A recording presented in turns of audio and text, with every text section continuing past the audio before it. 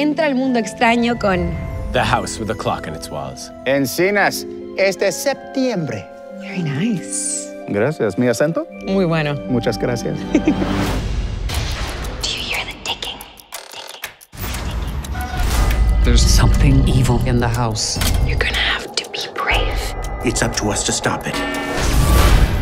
This house is scary.